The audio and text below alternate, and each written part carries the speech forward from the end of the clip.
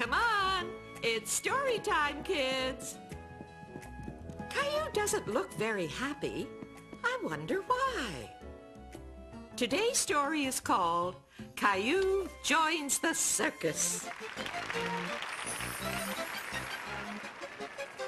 Yay!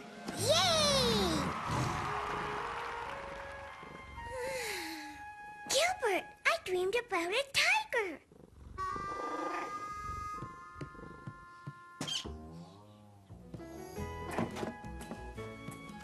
taking me to the circus today. He promised.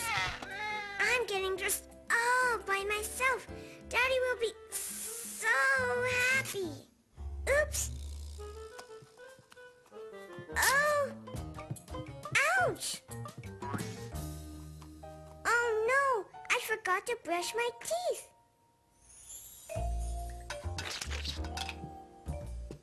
Look! I got dressed all by myself. Ah, I can see that. And you did a very good job. But it's so early. I don't want to be late for the circus. The circus? Oh no, Caillou, that's not today. The circus isn't till tomorrow. No, no, it's today. I got all dressed. it's today. Come on, Caillou. Come downstairs and help me make breakfast. No,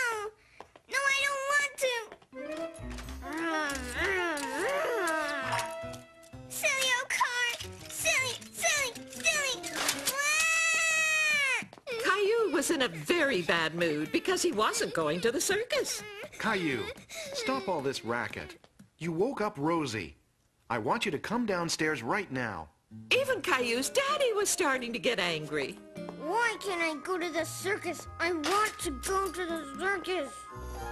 Let's make toast. We can cut it into little duckies, like Grandma does.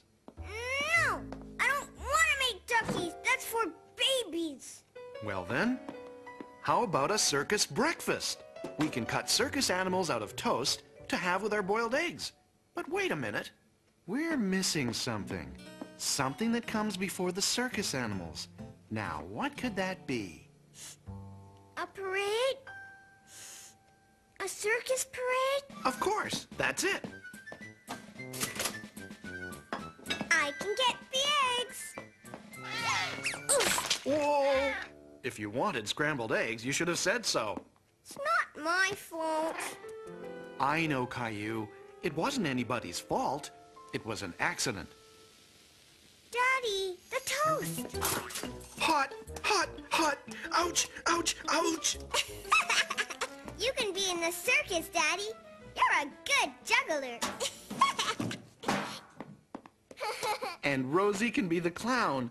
Oh, what's going on here? We're having a circus. Do you want to be in our parade, Mommy? Oh, are you going to be the lady who rides the horse? I don't think so, sweetheart. I think I'll be the lady who marches back to bed.